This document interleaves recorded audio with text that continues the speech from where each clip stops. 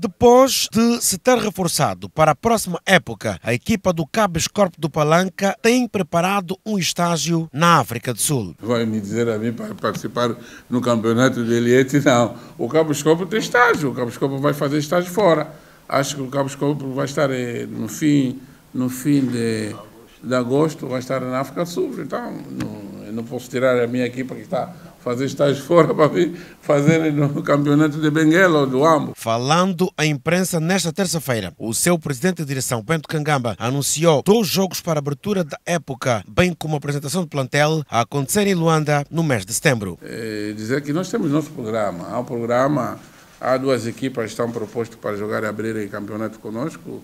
O Santon. Uh, da, da África do Sul, quer jogar conosco aqui na abertura do nosso campeonato, ou o campeão do, da Zâmbia.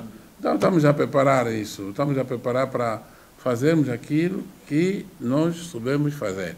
O Eliette não, não, nos, não, não nos convidou, mas se mesmo convidasse, temos outra equipe para poder. Acabamos tem duas equipes, três equipes para poder.